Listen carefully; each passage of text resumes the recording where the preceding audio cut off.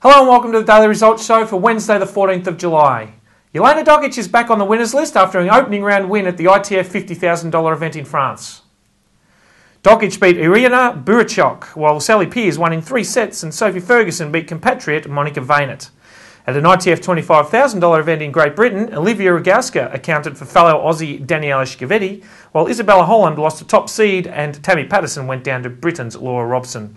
We also had three Aussies in action at the ITF $10,000 level. Alison Bai was the only one to move ahead, scoring a three set win in her first round match in Thailand. Marinko Matosevic has made a great start to his opening round of the Challenger event in Aptos, knocking off top seed Rajeev Ram. Matosevic blitzed the American in straight sets, 6 1 6 1, while Nick Lindahl beat 8th seed Tim Smyczek. No luck for Greg Jones though, he went down to American Donald Young in three sets.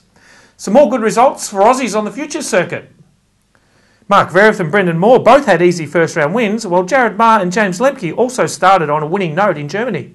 Clinton Thompson was also due to play in Germany but withdrew before the start of play. Coming up, two more Aussies have qualified for the Aptos Challenger event.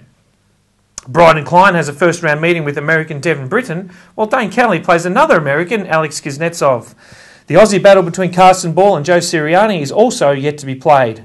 In France, Sally Peers plays the fifth seed in her second round match, while Jelena Dokic and Sophie Ferguson will both start favourites against unseeded opponents. On the future circuit, Ben Mitchell continues his campaign in Spain, while Jonathan Cooper and Stephen Ho play their first round matches in Illinois.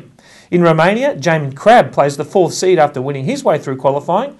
Maria Merkovic and Jess Moore begin their campaigns at separate ITF $25,000 events. Moore is in action in Germany, and Merkovic is playing a clay court event in Belgium.